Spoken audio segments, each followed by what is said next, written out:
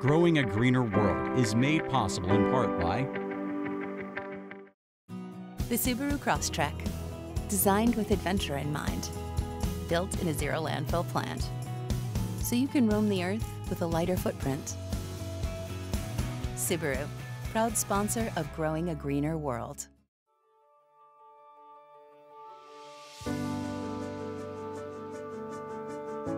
I'm Joe Lamp'l.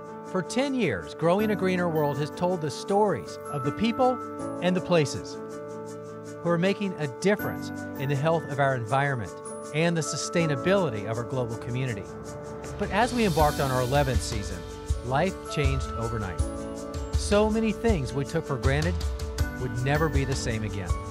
Now it's up to each of us to take a more active role in not just saving our planet, but making it better feeding our families with organically grown food, conserving vital resources, protecting natural habitats, starting in our own backyards, growing a greener world.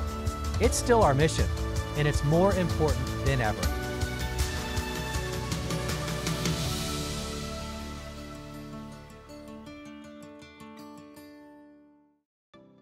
You know, I really like how this combination has worked out, Kristen. Yeah, me too. We've covered a lot on this show about edible gardening, and we've met people all over the country growing food in some really unusual places, from rooftops to converted school buses and even on the side of buildings. And one thing we can say with certainty, you do not need a lot of room to grow a lot of fresh, delicious organic produce. In fact, all you need is some sort of container. So today's show is all about container gardening, and we'll share some of our best tips for getting big results from some very small spaces. And in fact, these tips are going to apply no matter where you live or what your situation, whether it's a tiny apartment balcony or maybe a small patio outside or even a large backyard garden like this. So there are a lot of reasons to grow food in containers. The most obvious, of course, is if you have little to no room. Maybe it's just a driveway or a tiny patio. Well, the container provides that soil in which to plant, so it's perfect for that. But you know, even here at the GGW Farm and Gardens where we have lots of room, well, there are a lot of other advantages that even people with full-size yards should take into consideration. First, even if you have a large backyard, containers are a great way to fill design holes or give a different look to your garden space. Let's say a crop is harvested and you're left with a large empty space in the middle of your vegetable garden or flower bed. Well, you can place one of your containers there and quickly give your garden a lush, full look again. Or if you have an unused corner of your property, a grouping of containers can fill that spot without committing to anything permanent. Another advantage is that you have a lot less soil-borne disease and fewer pests. By using potting mix, you're less likely to introduce problems. And since the soil is protected on most sides, pests have a lot less chance of finding the roots. And finally, container gardening gives you more control over things like the pH of the soil and the light conditions. If you want to grow something like blueberries, for example, but your soil has a pH of around 6, then you can grow them in a container and adjust the soil pH to between 4 and 5, which is exactly what they need. And it's much easier to keep it at that pH when you only have to amend the small amount of soil within the pot. And if something you want to grow needs more light, you simply pick up your container and move it to a new spot. Now, while it's true you can use just about any type of container for your plantings, it's a great opportunity to take your time and really make an awesome design statement. But you don't have to spend a lot of money on a container either. You could recycle something unusual, like a wooden crate or even an old dresser drawer. Of course, this would give you an eclectic look, but if that's what you're looking for, well, then it's all about thinking outside the box, or in this case, the pot. But if money is no object, you have a lot of options there too like these imported handmade terracotta pots. Some of them are local, but they're all handmade. A little more money for that, but they're certainly worth it. Now, you and I probably grew up with these terracotta pots. Very inexpensive, maybe a buck or two, and they come in all different sizes. Now, the downside of this is they have a tendency to crack. So over a year or two, that'll happen, but you can make it last a little bit longer if you would just bring them in over winter or don't plant into them over the winter time. Probably get an extra year or two that way. The other downside about terracotta clay is that they really wick away the moisture. So you have to be extra vigilant to keep these hydrated. Otherwise your plants will get very dry very quickly. Now I love this terracotta look and I love a big pot, but with that extra size you get a lot more weight. So unless that pot is going to be parked in one place, these don't become all that practical. But if you like that look, for a fraction of the weight, Hello Plastic. Now plastic has come a long way in recent years to give you any type of shape and any kind of look at a fraction of the cost. And for under $30, you get that right here with a terracotta design and look. Also with plastic, you can get like a hand-spun clay look. This is about $20, but I really like this, and you can't tell that it's plastic. That's the best part about it. Now to plastic's credit, besides its cost, it's very low there. This does a good job of actually holding in the moisture. So although it's always important to check the moisture in a container, this doesn't wick away water like the terracotta would. If you really like that shiny ceramic look like I do, well then these are the ones you want to go with. Now there's no way to know from a distance that this is not ceramic. In fact, once again, plastic. So super light and yet you can get a huge pot in awesome colors. These are under $30 and of course there's smaller options as well and they're going to cost you less. If you like the look of metal, well, there's options for that. And again, this is plastic, but you have a different shape here, lots of different sizes, and again, very inexpensive. Now, one of my favorite options in recent years, these eco pots. Now, they also come in different shapes and sizes, but they're made of renewable, sustainable crops. They'll last for a few years. You can either plant right into them or drop a pot inside of it. In a couple years, when these start to break down, rather than throw them in the trash, you throw them in your compost pile and let them break down there. I like that option. Now, in all cases, pots need drainage. And when you buy a plastic one, chances are they're not going to have a drainage hole in them. So you've got to make sure that you do that. So get a big drill bit, drill several holes into this because plants cannot live in standing water, so you got to provide that drainage. Other common options for containers include concrete. It's a great look, lasts forever, but the heaviest of all options. Styrofoam is another option that's becoming less common, but it mimics the look of concrete or stone, but without all the weight. Metal is another great look, but even galvanized products should be lined with plastic to avoid eventual rusting. And wire baskets lined with coconut husk are popular, inexpensive, and reusable, but they do tend to dry out in windy conditions, so place them where they can be watered easily. Now, if we've heard it once, we've heard it a thousand times. If we want to improve the drainage in our container, we need to add something to the bottom, whether it's small stones or marbles or styrofoam peanuts, or maybe even crushed aluminum cans. We need to create that airspace at the bottom of the container so the water moves through more easily. Now, the real life application, does that really work? And rarely do we have a chance to see what goes on inside that container because usually it's something solid like this. But today, we're gonna take a look at that and we're gonna use clear containers. So I have two. They both have holes in the bottom. And in the first one, we're gonna add some stone. That's typically what we would do. I'll add more than you might likely usually do to really illustrate the point. That may be the normal stopping point, but just for today, we'll go up to right about there.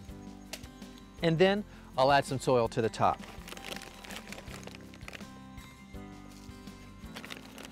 A bit more there. Now in this one, we'll go straight soil. Nothing at the bottom for drainage.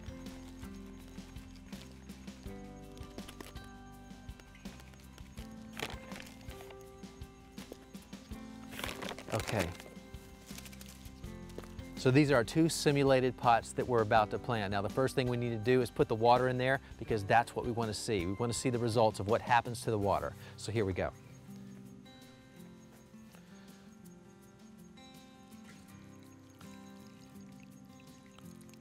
So fill that one, and we'll fill this one. Maybe a little bit more in both.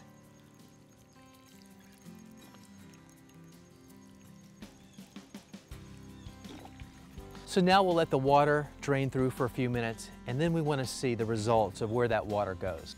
So it's been just a couple minutes and let's assess the results so far. Now the one where we added the stone to improve the drainage. Take a look at this. Now we have some air pockets here, but for the most part, this is saturated soil. The water hasn't moved through to the stones. And in this case, where we didn't add anything, all soil, look, the saturation point is way down here at the bottom. Now that's typical. The water will move through to that point where the drainage or the exit point occurs. In this case, it's all the way at the bottom of the container. Here, it's at the bottom of the first substrate level. Now the academic explanation for that is that water does not pass easily between two substrates of different pore sizes. In this case, the water is going to collect in that area that's denser, the soil.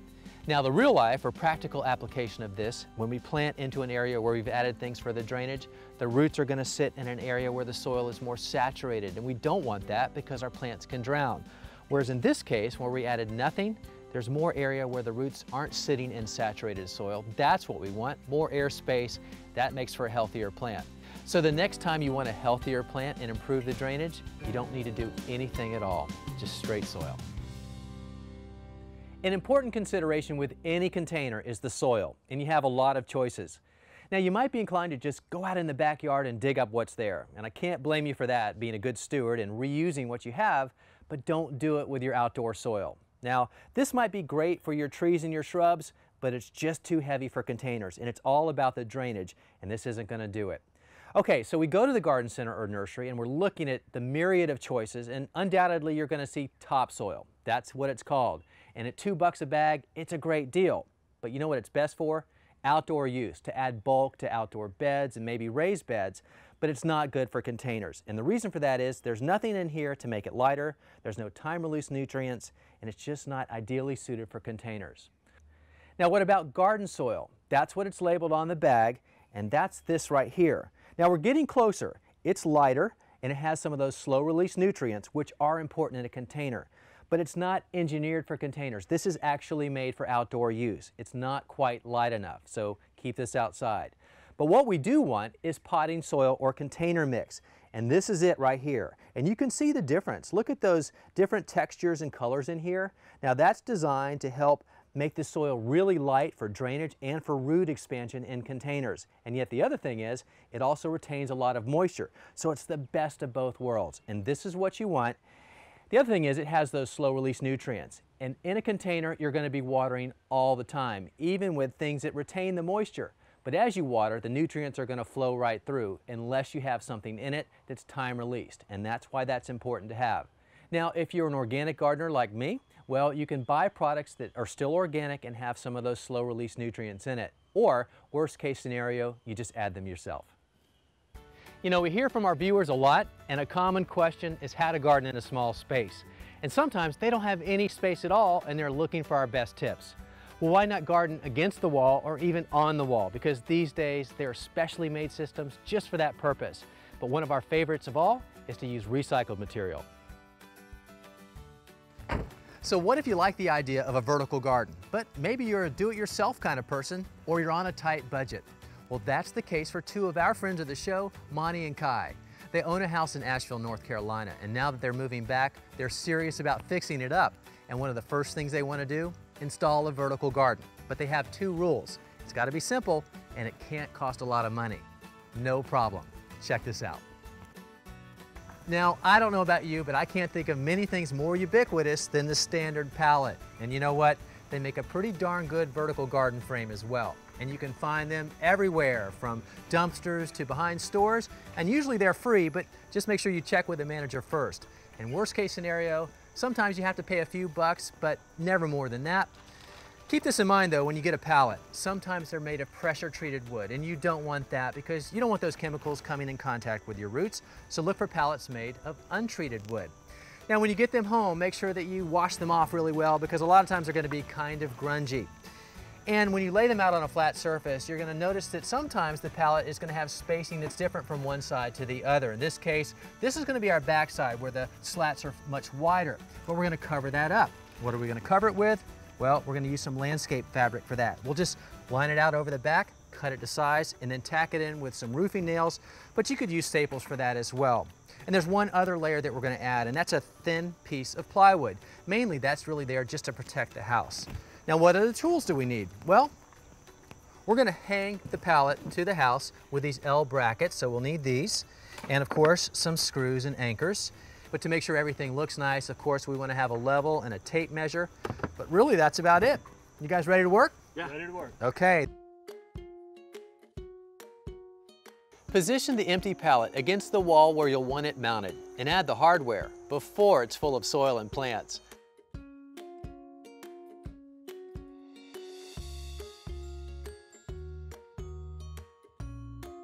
And speaking of soil, setting the pallet back on the flat surface makes filling the void super easy. Use a good quality potting or container mix that's lightweight and drains well. And don't be stingy when adding the soil at this point. Some will fall out and the rest will settle, but it's important that enough soil remains around all the roots. And be sure to leave some for later. We used about six bags total. And then the best part, adding the plants. This pallet garden is just a random design using all edibles. The plants are simply stuffed into place and soil is tucked around each root ball. the beauty of this vertical garden, this is 100% edible and it's right outside their kitchen door, so it could not be more convenient for access to fresh food. We've got some herbs in here, tomatoes, peppers. We're gonna put the peppers in the top, this area right here. The peppers are gonna get the tallest and they need some room to grow up. So we're saving this area, we're reserving that for all of our peppers. Then it's simply a matter of mounting it against the wall. Pre-measuring and adding the hardware ahead of time makes this part a lot easier. This is where it's helpful to have more than yourself getting it over here. It's not terribly heavy, but it's a little bit awkward at this point. So we've put a cinder block in place just to kind of give us some positioning and leverage.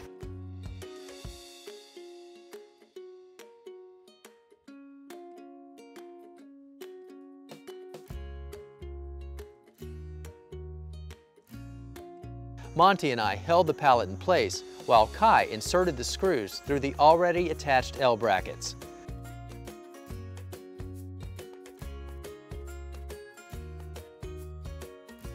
Finally, we added some upright pepper plants into the top section and watered all the plants in.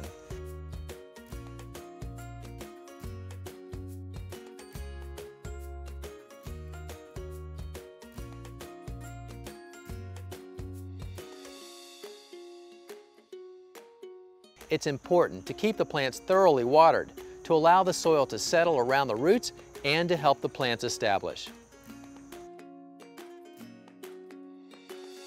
Well, the guys are already in the house getting their salad bowls ready, but it looks pretty good, doesn't it? And the best part is, I think we met both of their requirements. It was super easy to build, and in real time, it only took about an hour. And the only cost here was the price of the plants and the soil. Everything else was either free or they had the items around the house. Now, I know you probably want to build one like this at home, a vertical garden using a pallet, and we have all that information on our website, and the address is the same as our name. It's growingagreenerworld.com. You'll find it under the show notes for this episode.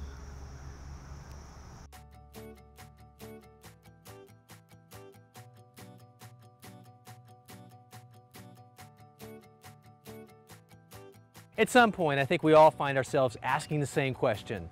Just what plants do well in a container? Or conversely, what shouldn't I plant in a container? Well, the fact of the matter is just about everything does well in a container. Even dwarf and semi-dwarf fruit trees do exceptionally well.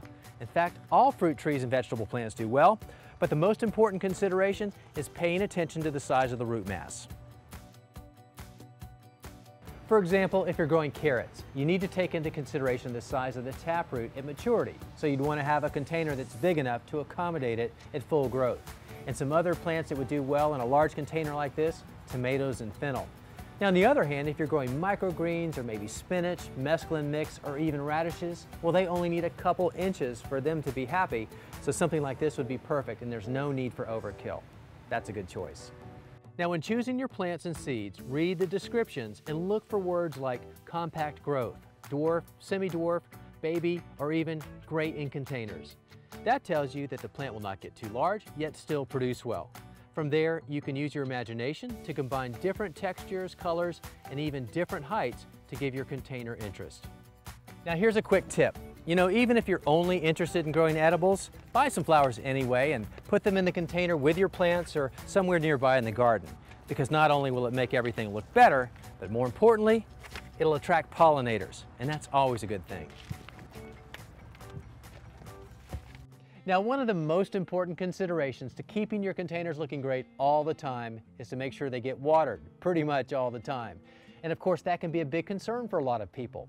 So an easy way to take the worry out of all of that is to put your watering on autopilot with a drip irrigation system and an automatic timer. The systems are sold as complete kits, so everything you need is included. They're very easy to assemble, and if you need additional parts, you can buy them separately.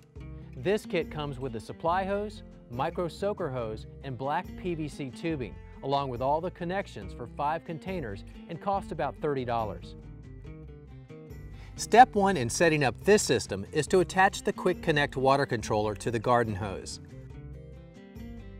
The timer is sold separately, but if you're using one, go ahead and attach it to the faucet. Choices range from basic timers to programmable options with more features like this one for about $50.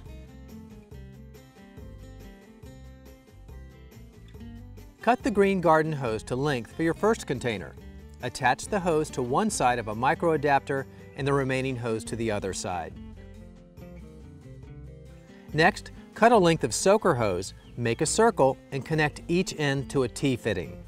Now, cut and attach a length of black tubing that reaches from the fitting in the container to the adapter on the garden hose. Finally, repeat the process for your remaining containers.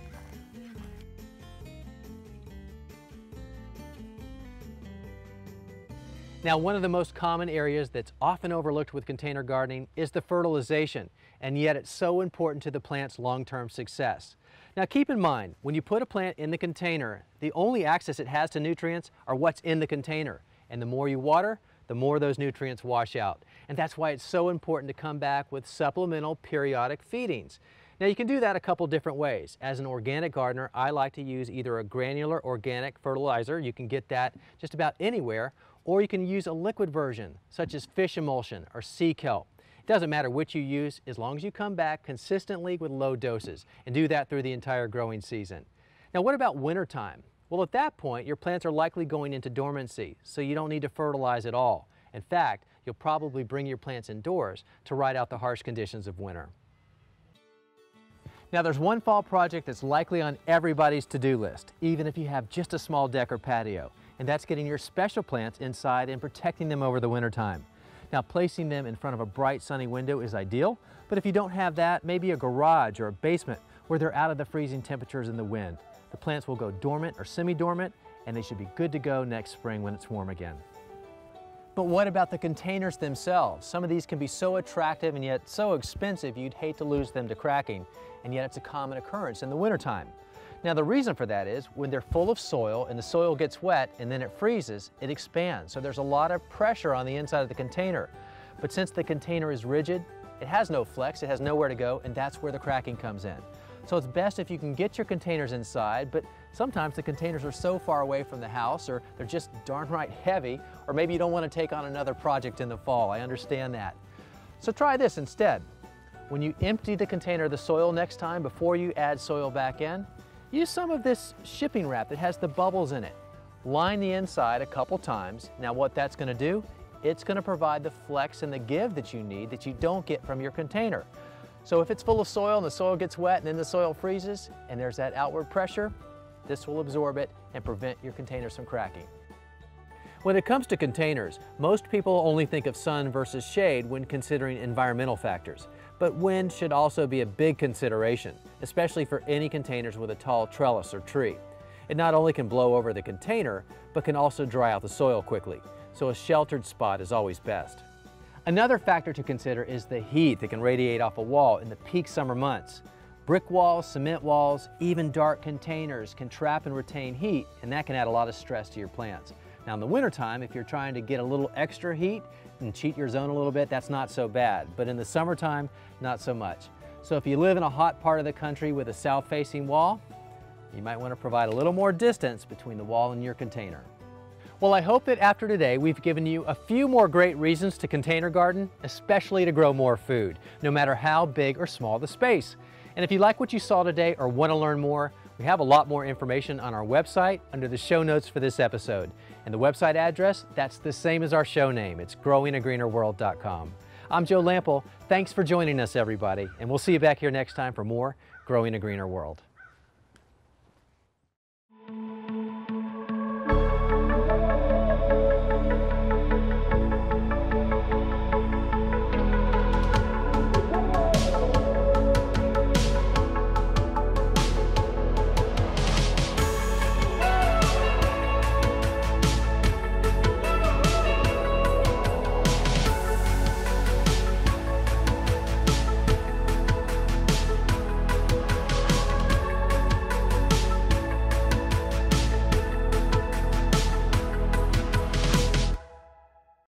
Now you can continue your garden learning online in courses from me, Joe Lamp'l, in my online gardening academy. Classes are designed to teach gardeners of all levels, from the fundamentals to master skills. Explore the courses available right now, plus new topics covering everything you need to know to grow like a pro. Take each class on your own schedule, from anywhere. Plus, you'll have opportunities to ask me questions about your specific garden in real time. Go to joegardener.com/learn for details today. Bye.